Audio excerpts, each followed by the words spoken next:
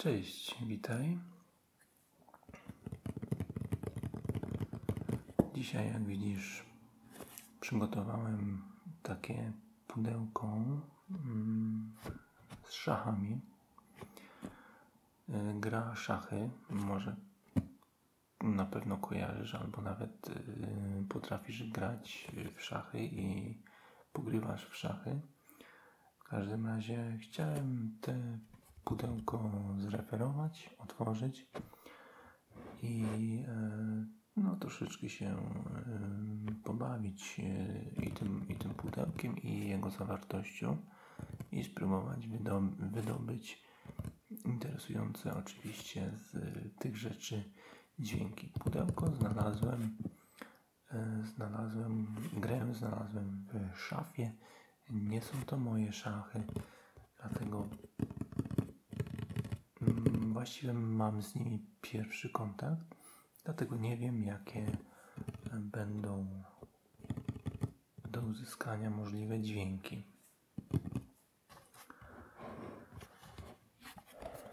Najpierw może pokażę Ci same pudełko.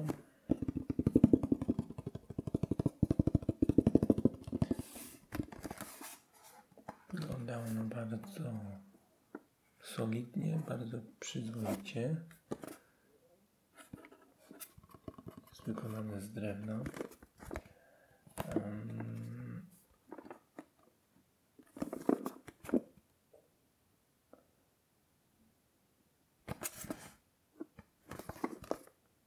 Tutaj ma takie specyficzne zapięcie.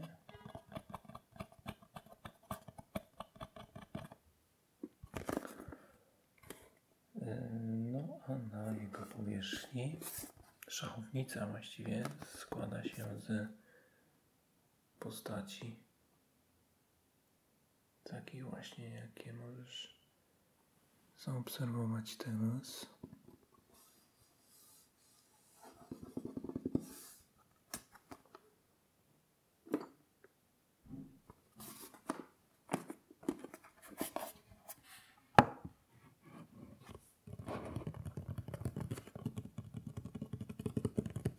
E, Samo opukiwanie pudełka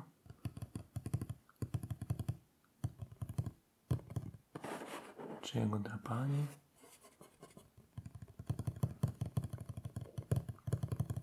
wydaje bardzo przyjemny dźwięk.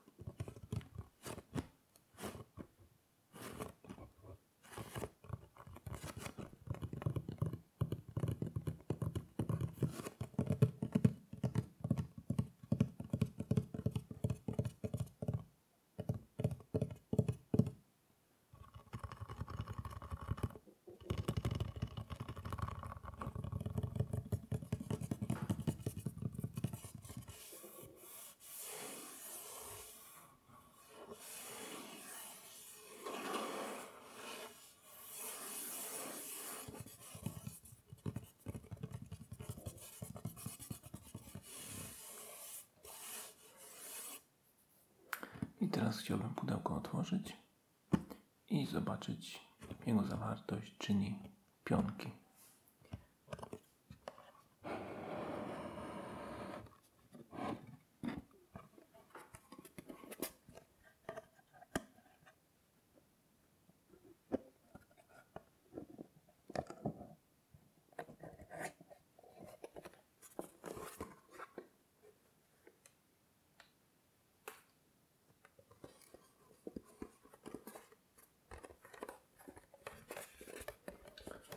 A wygląda to w taki sposób.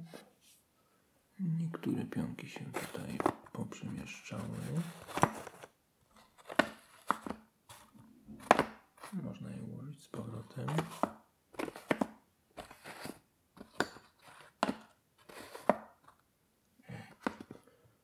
Teraz myślę, że jest dobrze i ładnie. No i w taki sposób to właśnie wygląda.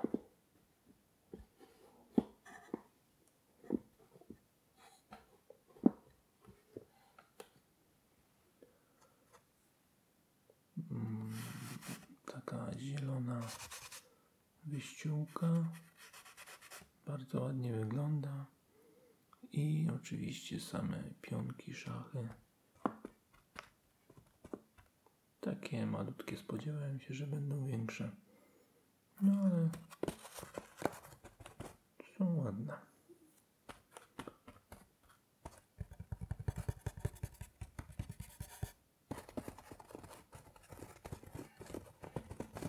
Trochę przyjemnych dźwięków z wnętrza.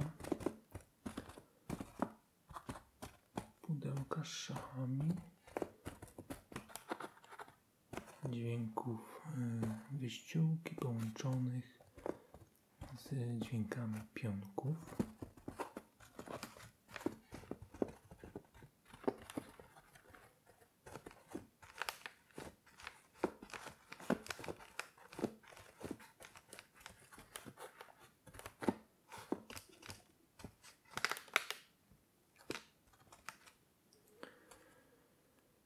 Nie będę e, uczyć Cię, czy pokazywać Ci, jak się gra w szachy, tylko po prostu chciałem zreferować te pudełko, konkretnie te szachy, te pionki, zobaczyć jak one wyglądają, bo tak jak Ci wspominałem, sam nawet nie wiedziałem, co jest w środku, znaczy co jest w środku, tak, ale y, jak jest wykonane i jak wygląda. Może tylko wyciągnę pionki, troszeczkę się nimi pobawię i później rozłożę je na szachownicy. Mam nadzieję w taki sposób, w jaki powinno się e, przygotowywać grę.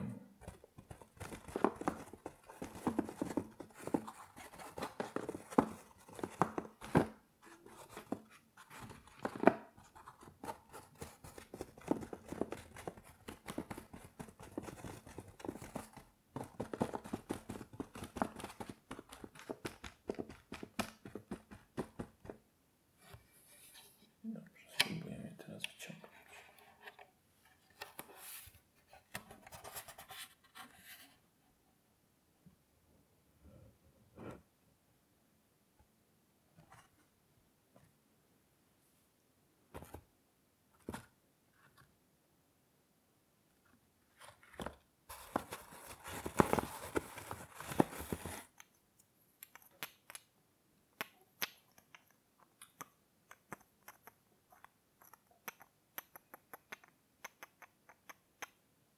Król gracza pionków koloru czarnego i białego.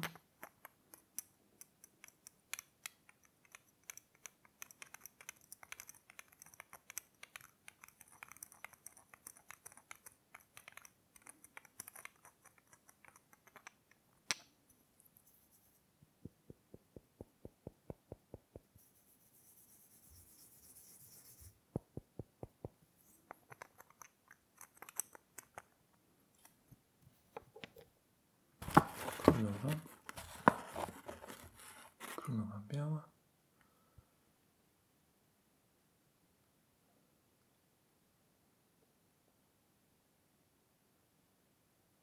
Królowa czarna.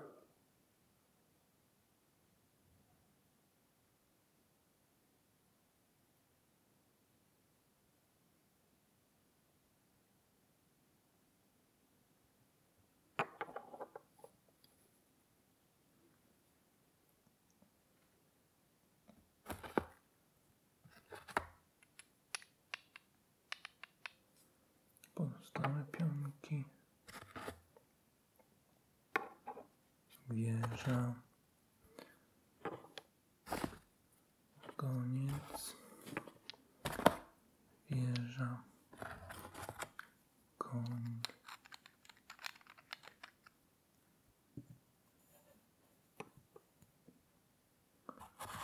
Pionki.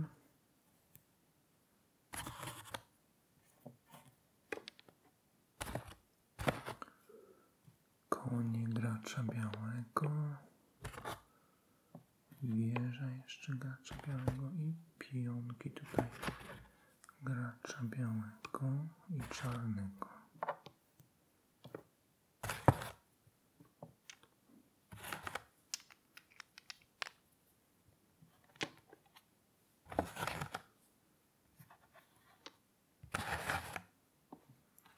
i opróżniliśmy zawartość pudełka.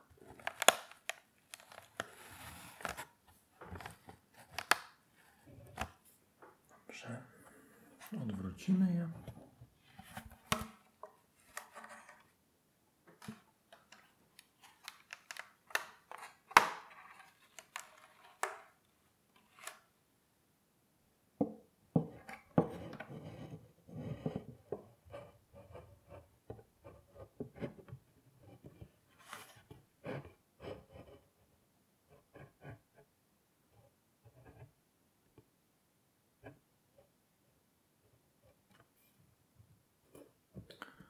Tutaj dokładnie w tym miejscu. Pokażę Ci jeszcze raz. W tym miejscu przebiega połowa planszy, bo nie mieści się cała szachownica w kadrze. To jest połowa. I ustawię ustawię może pionki po, po tej stronie, czyli po twojej, po twojej połowie. Myślę, że ustawię pionki białe dla ciebie. Gracz z pionkami białymi zawsze rozpoczyna partię. Tak to jest w szachach. Więc spróbujemy je teraz poustawiać. Pionki, czyli tego rodzaju figurki, powinny stać tutaj w tym drugim rzędzie. Tutaj. Spróbujemy je ustawić.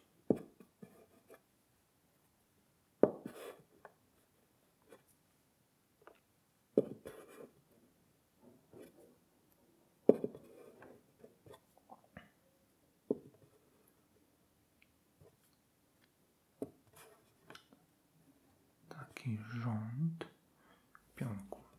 I teraz e, za tym rządem pionków, tutaj w tej linii, można ustawić figurki. I tutaj już trzeba wiedzieć, w jaki sposób je ustawić. I ja nie wiem, czy do końca pamiętam, w jaki sposób je dobrze, prawidłowo ustawić, ale postaram się to zrobić dobrze. Na pewno mm, po bokach stoją wieże. Tutaj stoi jedna wieża. Tak wygląda wieża i tutaj stoi jedna wieża. E, Dalej obok em, wieży stoją konie. To jest koń. No i można go ustawić. Właśnie tutaj. Tak bokiem go ustawię.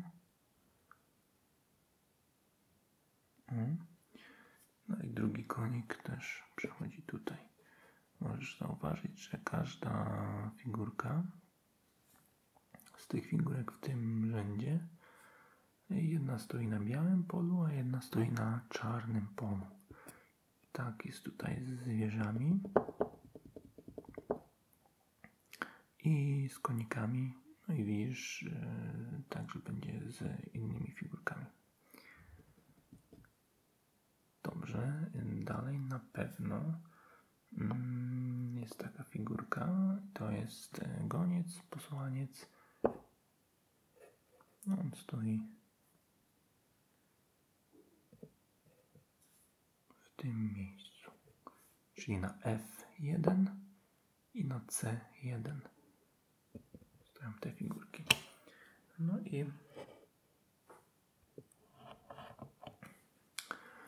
Teraz właśnie mm, najciężej jest ustalić e, mi oczywiście, e, bo po- pozostał, pozostałe do ustawienia dwie figurki to jest e, królowa i król.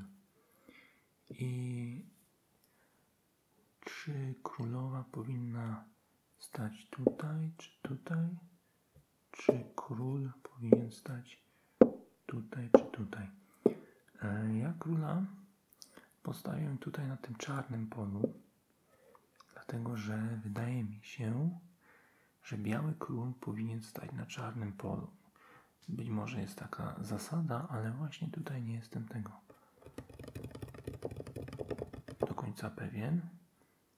A królowem oczywiście tutaj nie, nie zostało mi inne pole, tylko postawię ją, ją tutaj. E, Gdyby trzeba było ustawiać pionki dla gracza e, koloru czarnego, e, to wtedy mm, sytuacja jest na odwrót, czyli czarny król stoi na białym polu i wtedy nie widzisz tutaj tego, ale to jest ten rząd. Po drugiej, po drugiej stronie jest y, na końcu planszy, planszy w tym miejscu białe pole. No i wychodzi na to, że biały król stoi tak naprzeciwko czarnego króla. I tak samo z królową. Może tak bardzo szybko pokażę Ci, jakie ruchy można wykonywać tymi pionkami. Mianowicie, to jest pionek, tak? To są, to są pionki i każdy z pionków może poruszać się tak o jeden, o jedno pole albo raz, dwa, o dwa pola. W taki sposób może się poruszyć tylko na samym początku gry, gdy startuje ze swojej pozycji tutaj startowej. To znaczy o dwa pola, bo później może poruszać się tylko o jedno pole. Tak? O jedno pole. Później może się poruszać. Ale wystartować może od razu o dwa pola lub o jedno pole. Jeśli e, ten, ten pionek napotkałby e, przeciwnika, to może go zbić e, tutaj po skosie. W taki sposób.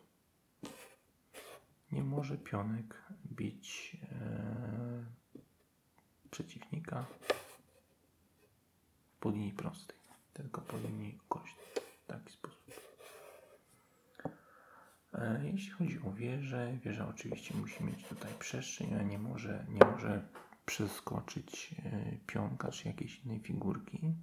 Powiedzmy, że tego pionka tutaj nie ma. No to wtedy wieża porusza się po liniach prostych. Więc w taki sposób może poruszać się wieża lub w taki sposób może poruszać się wieża i w taki sposób też atakuje e, pionki gracza czarnego. Wieża nigdy nie porusza się po linii ukośnej w żaden sposób, tylko po linii prostej.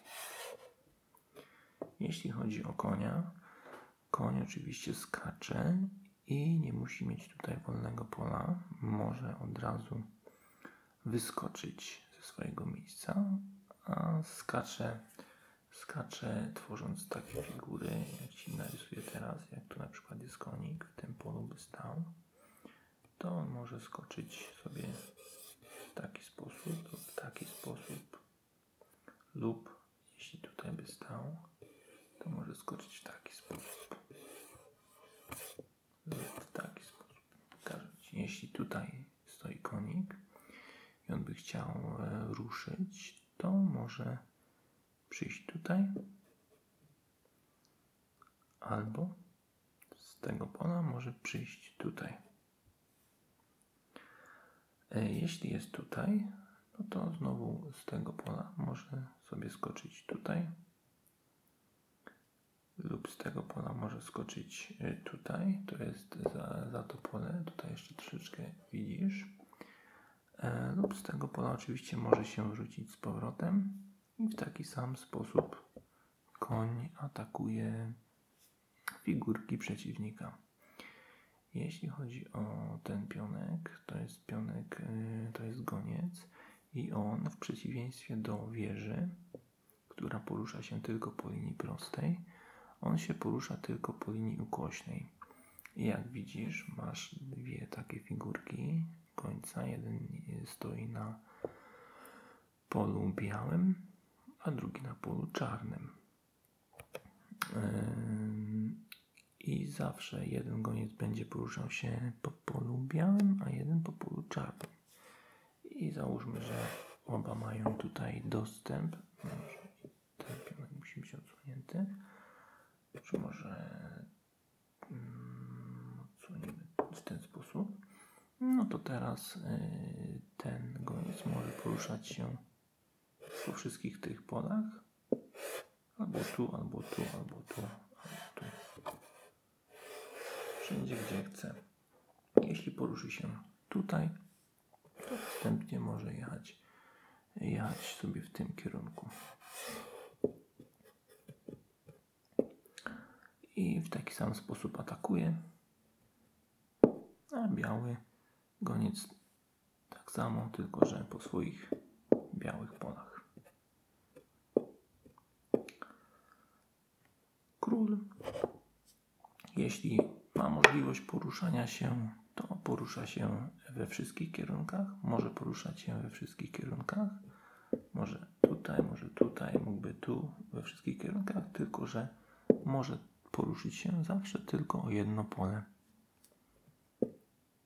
Tutaj, tutaj, nie może tutaj. Taką ma zasadę. Natomiast królowa królowa może poruszać się zawsze we wszystkich kierunkach. Jest to najbardziej wszechstronna figurka i w taki sposób też y, może atakować i jest to figurka najbardziej w szachach wartościowa, bo może poruszać się tutaj, tutaj, tu. E, może poruszyć się tutaj, tutaj. E, we wszystkich kierunkach porusza się, jest kombinacją ruchów, e, jakby gońca i wieży, bo ta jedna figurka może poruszać się zawsze e, po linii prostej i po linii ukośnej. I o wiele pól. Nie tylko o jedno czy o dwa, ale o wiele.